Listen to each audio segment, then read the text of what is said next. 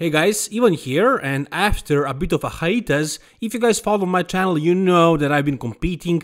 I did four freaking shows, and that one last show was one too many. Next time I compete, I'll do two shows max, and that's gonna be it. This was prolonged season for me, and it was really tiring. But now I'm back. I'm done competing for this year. I probably won't be competing next year. 2023 is the plan for now, but we'll see. Anyways, I'm back. I'm back finally, and we're gonna start right now with the news. The first thing I want to talk about was something that I was watching these days carefully, and it is Big Ramy with his most recent physique update, in which he looks incredible. Now, guys, you remember last year, Big Ramy in the off season, there was no trace of him. He was the champ, he was the reigning Mr. Olympia, though he didn't post any content whatsoever. So it was pretty safe to assume that he wasn't looking that good.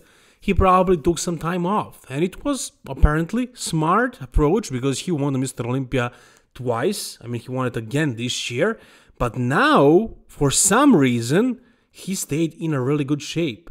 Is it because he wants to do more guest posings or is it because he wants to compete earlier this year? I don't know if Arnold is gonna be in March this year like it used to be. Maybe he wants to do that, maybe another show. I don't know. Maybe he wants to earn more money competing and winning shows.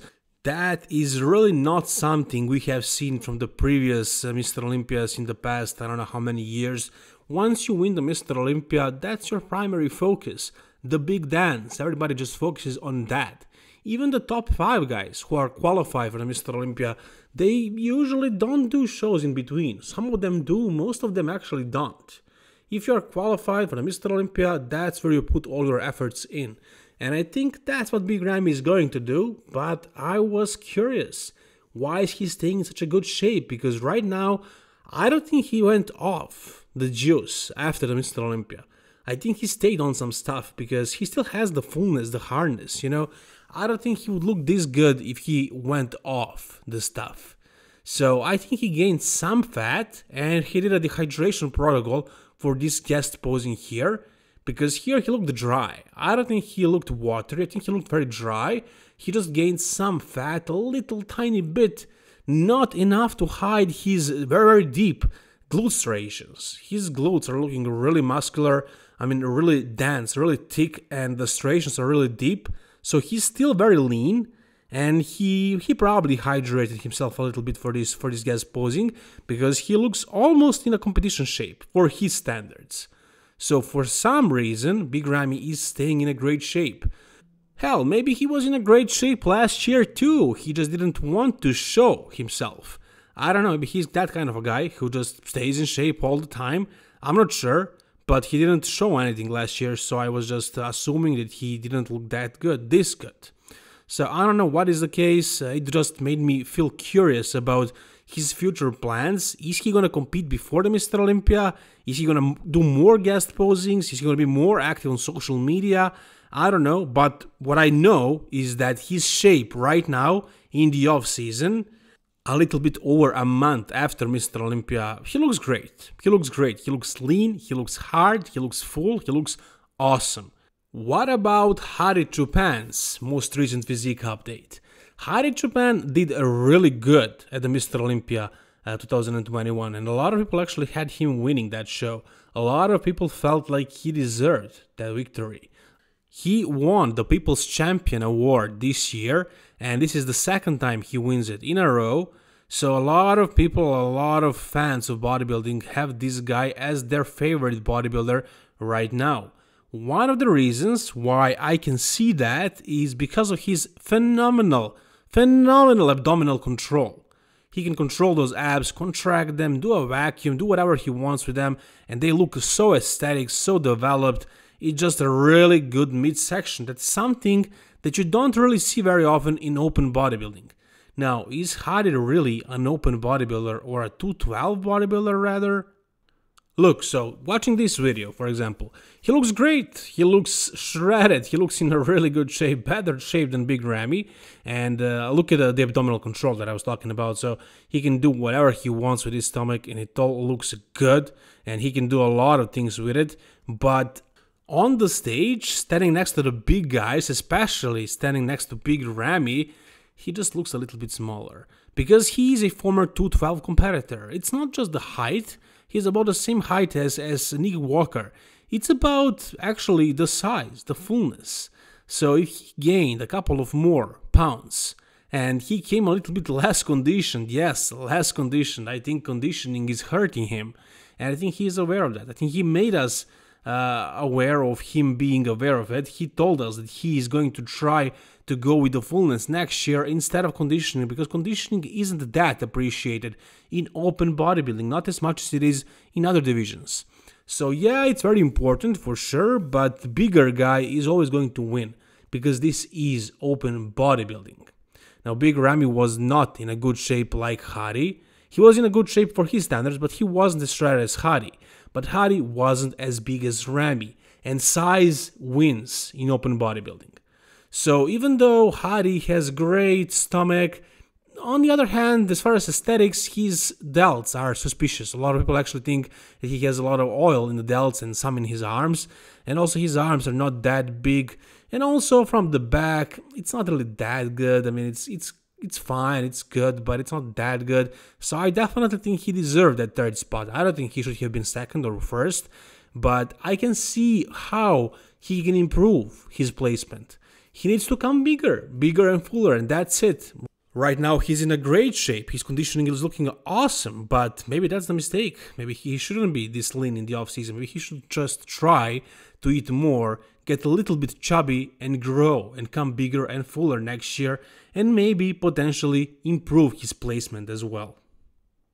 During my hiatus from YouTube, a lot of things happened, and I wanted to touch on some things, not all of them. This is news channel. This is not news right here, but I wanted to touch on this a little bit. So this was really hard to, to digest, to, to hear. Uh, first, we had a death of George Peterson, and then also Shawn Rhoden, both young guys. Uh, Shawn was 46. George was, I think, like not even 40. So these guys, I mean, this was not, this was so unexpected. And now I heard actually from Guy Cisternino on Fouad's podcast that Shawn had a minor heart attack last year. So if that was the cause of that this year, then it was, I guess, expected in a way. And why why did George die? I don't know, but it's not really the point here. The point is this is sad, guys. And also, we had a death of John Meadows this year. This year was not a good year for bodybuilding in that sense. A lot of great bodybuilders died. And uh, I don't know, I mean, is it just a coincidence? Or is it the fact that they're abusing uh, gear and stuff? Because a lot of people are speculating the reasons behind all this. It's really not relevant. I mean, people are dying all the time for uh, all kinds of reasons, unexpected reasons. So maybe it's just something that's not related to gear and, and bodybuilding and everything like that. I mean, I'm not here to discuss the reasons of their deaths. I wanted to just say rest in peace, George Peterson, rest in peace, Shawn Rhoden. And the most recent one was another old timer from the 90s one of the bodybuilders that competed against, uh, that didn't really compete very often or at all, who could have been the Mr. Olympia, as some people are speculating, who was really big, probably bigger than Dorian Yates at that time, but decided not to compete. It was Victor Richards. And uh, the news told us that he died. But then there is new, new information that he's actually well this is really confusing and it's not something that should be happening. I don't think news outlets should be releasing this kind of information before they check and make sure because this is what the Bison Tries page uh, posted now. Uh, it is a quote from Victor Richards' daughter. Uh, she says, uh, I'm pleased to assure you that my father is in fact alive and well an inaccurate Facebook post that caused a wildfire of uh, false information throughout social media and news outlets. So apparently, his daughter is saying this. Does this mean that uh, Victor is like in hospital and he can't write? She's writing instead of him, and somebody leaked the information that he died, but he's struggling for, for life or something like that. I have no idea. I'm just assuming here. I should not be doing that. I don't know. I don't know what is the case with Victor Richards, but apparently, based on his daughter, he is not dead.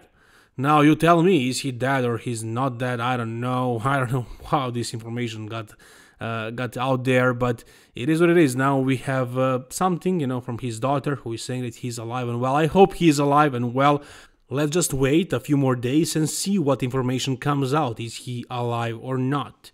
I don't want to assume anything and pass any kind of judgment like Shawn Ray did after Shawn Rhoden passed. So he said some things that weren't exactly true, and it triggered a lot of people, a lot of people who were close friends with Shawn Rhoden. So Shawn Ray was assuming some things.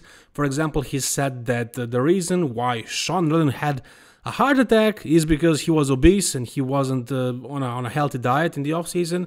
First of all, we don't even know why what was the cause of that, and second of all, he doesn't know Shawn Rhoden that well to know what his uh, daily habits were. Also, he added that Shawn Rhoden had a problem with recreationals, which is apparently not true based on uh, Guy Cisternino, who said that Shawn never did anything like that. Uh, these guys were close friends. And actually, uh, Guy added that uh, Shawn had a minor heart attack last year. Nobody knew about that. But anyways, uh, Dave Palumbo ended up deleting the interview with Shawn uh, with Shawn Ray, so you can't even watch it. I can't even show it to you. But it caused a lot of backlash. I mean, Shawn Ray, nobody likes him anymore. I mean, everybody's hating on this guy. Nobody wants to see him comment on bodybuilding shows. Uh, he always has a lot of negative things to say. Even after people die, he shows no respect. And uh, a lot a lot of people are hating on him. Right now especially uh, the, the, the, interview was even deleted. It was so disrespectful. So it is what it is. And uh, you guys tell me what do you think about Shawn Ray? Do you like the guy? Do you think he did a little bit too much with this interview? Whatever your thoughts are tell me in the comment section down below. Tell me what you think about Shawn Ray and his overall approach do you like the fact that he's brutally honest or do you think he's doing a little bit too much for the sake of the views to stay relevant? He's adding stuff that he's not even sure about. Whatever your thoughts are, guys, tell me in the comment section down below. Uh, I want to say sorry for my voice being a little bit nasal. I think I have a cold or something. I don't know what it is, but uh, I do have some uh, throat ache. Whatever, doesn't matter. I'll be here. I'll be posting videos every day from now on. I'm back. I hope you guys enjoyed this video. If you did, please give it a like. And for more videos, subscribe to this channel guys. Thank you so much for watching, all the best and bye bye.